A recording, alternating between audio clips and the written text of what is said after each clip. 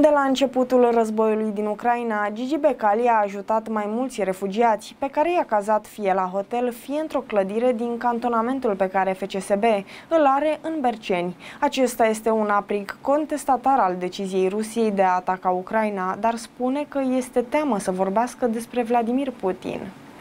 Gigi Becali se teme să nu fie otrăvită de Vladimir Putin, care a demarat pe 24 februarie un atac sângeros în Ucraina pentru a pedepsi țara vecină pentru aspirațiile sale occidentale. Rușii fac prăpăd în țara vecină și, potrivit informațiilor venite de la Kiev, toți cei care refuză să colaboreze cu invadatorii în orașele controlate de ruși sunt eliminați. Gigi Becali se teme că în cazul în care Rusia are și câștigătoare din acest conflict, Putin ar putea ordona ca toți cei care au avut atitudini neprietenoase la adresa sa să fie pedepsiți, motiv pentru care a hotărât să nu mai vorbească în public despre liderul de la Kremlin. Mi-e frică de el. Ce văd eu că face omul ăsta? Mi-e frică. Nu vorbesc eu despre el. Doamne miluiește. Dacă zice cine a avut atitudine neprietenoasă să fie otrăvit. Nu mă bag, nu vreau să vorbesc despre el. Dacă îl văd, fug.